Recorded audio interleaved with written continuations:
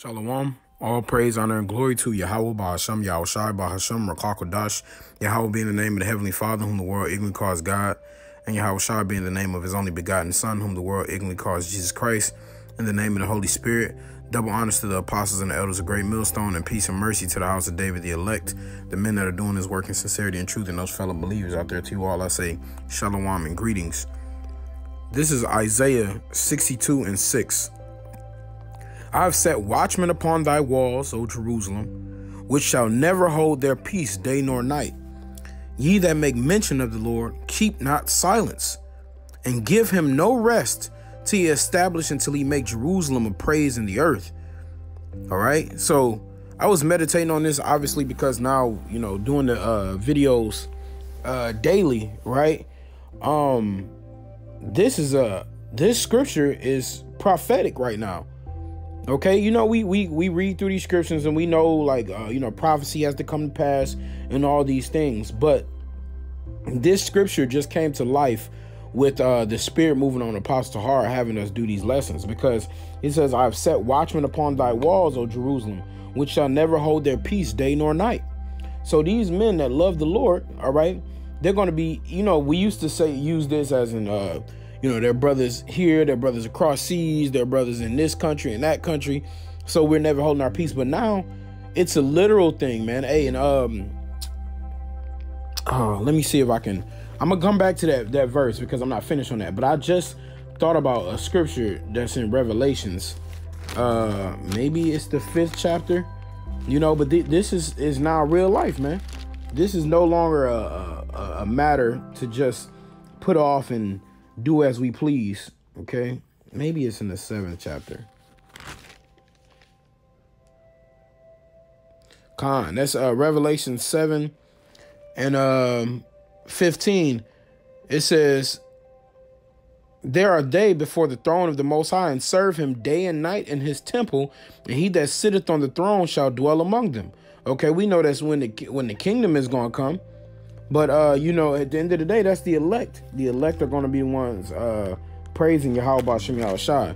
Okay. And there's a there's another one in here where it talks about uh the you know the the uh basically the angels that are in the heavens and they give glory to the Lord, right? And they they they're constantly in his habitation, you know, they're singing holy, holy, holy. All right. Matter of fact, let me just grab that. This is Revelation 4 and 8. It says, And the four beasts had each of them six wings about him, and they were full of eyes within, and they rest not day and night, saying, Holy, holy, holy, Lord power almighty, Yahweh Shem which was, and is, and is to come. And when those beasts give glory and honor and thanks to him that sat on the throne, who liveth forever and ever. All right? So you got the uh, archangels and you have the angels giving praises to the Lord. It said, who don't rest day and night. All right, so that's that's what they do. They give praise to the Lord. And so now that's what we're doing through the Spirit.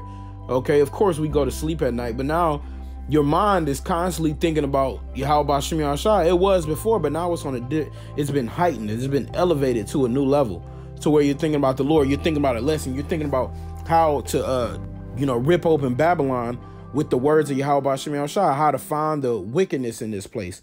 How to glorify our Lord. Okay.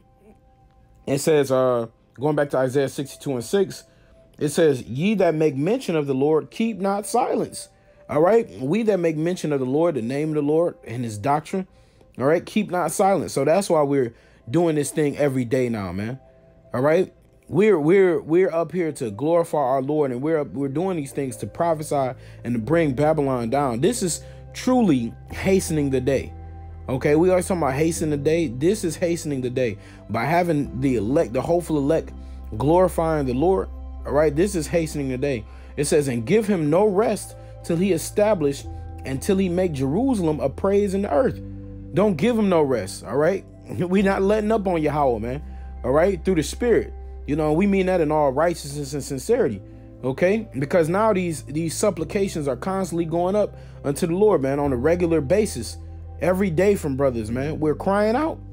We're crying out, oh Lord, how long? We're crying out, Lord, save us, Lord, deliver us. Ain't no days off. Ain't no time for you to say, I'll do a lesson in a couple days or, you know, when I get around to it or before camp hit. Now the Lord is is is girding up our spirits to do this daily, man. And this prophecy is now coming to life. It says, and give him no rest till he establish until he make Jerusalem a praise in earth. So that's when we'll let up, man. You know, the apostles are not going, you know, through the spirit, you know, I speak as a man, but also you can kind of know it to be true. The Lord, he's not going uh get lighten up on this. He's not going to say eventually like, all right, y'all, let's go back to three videos a week. That's not going to happen. All right, this thing is set in stone now and it's moving forward. So we're not gonna give him no rest till he establish and he make this children of Israel, the so-called blacks, Native Americans, and Hispanics, and oh, those of the speckled bird that are scattered abroad, until he makes us um, a praise in the earth, until he brings uh, Jerusalem, the holy city, all right, the Israelites back to our rightful spot as being the keys, kings and priests under um under Yahweh Shemi Shai. All right, and that that's what we're praying for, man. That's what we're hoping for. That's that's our hope and that's our salvation. That's our expectation. You know, let me go to uh, Psalm 71. It's good to see scriptures come to life, man. You know, prophet. That's what prophecy is, man. Now we're seeing another prophecy take hold, and uh, you know what other groups are doing this? Okay, hey man, you can scoff and you can say whatever you want. You can hate. You can talk smack. You know, we know that's their lots, but you can't tell me Great Millstone doesn't have the prophets, man. All right. The, the sincerity from these men, the loyalty and dedication from these men to the Lord is unparalleled, man. This is Psalm 71 and 14. It says, But I will hope continually and will yet praise thee more and more. Okay? You know, and I brought that verse out the other day in Baruch, uh, it's like 27 or 33, where it says, um, and you, it was your mind to go astray from the Lord but now being returned, seek him 10 times more. Man, we got to seek the Lord more. We got to show the Lord now. He's showing us, he gave us all these things back. So now we got to show him our love and uh, loyalty to him to let us know how badly we want salvation.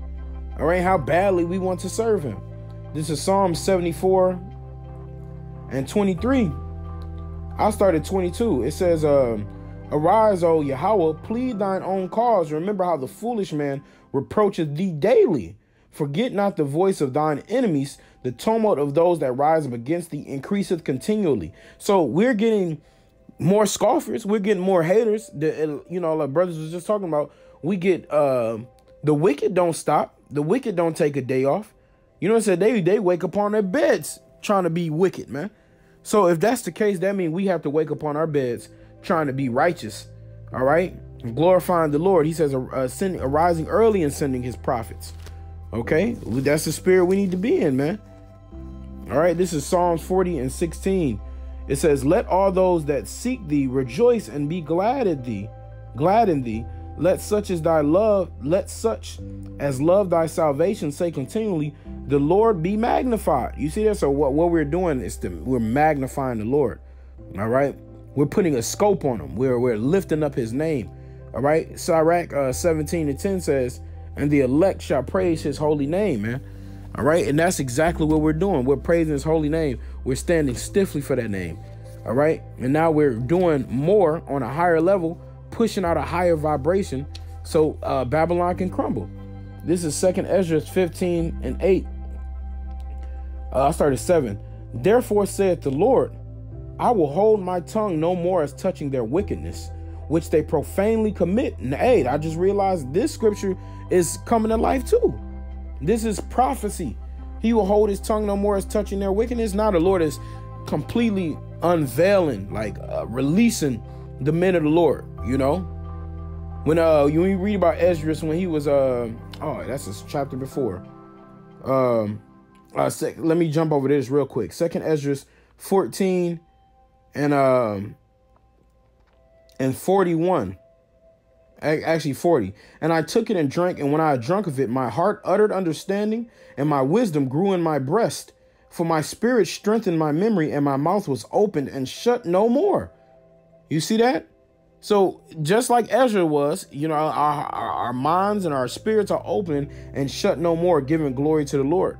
Okay, it says, The highest gave understanding to the five men, and they wrote the wonderful visions of the night that were told, which they knew not. And they sat 40 days, and they wrote in the day, and, the, and at night they ate bread. As for me, I spake in the day, I held not my tongue by night. You see that? So that that's what the Lord has got us doing. You know, there are days you're gonna do your videos early. There are days you're gonna do your videos midday. There are days you're gonna do your videos at night. But there are brothers out crying out to the Lord throughout the day, man. Okay, on a daily basis. Second Ezra 15 and 8. I will hold I will hold my tongue no more as touching their wickedness, which they profanely commit, neither will I suffer them in those things in which they wickedly exercise themselves. Behold, the innocent and the righteous blood crieth unto me, and the souls of the just complain continually. You see that? So the Lord said, "Are the souls of the just complain continually." Lord willing, we'll be the, those uh, righteous souls, man. But now we're complaining continually. All right, you had a time before you're like, all right, you know, you're gonna complain three times this week. You know, obviously, you know, we're not talking about prayer and things like that, but uh, your your lessons. You know, all right, I'm gonna complain three times this week. All right, the Lord put the Spirit on me to bring sing up some praises and complain four or five times this week.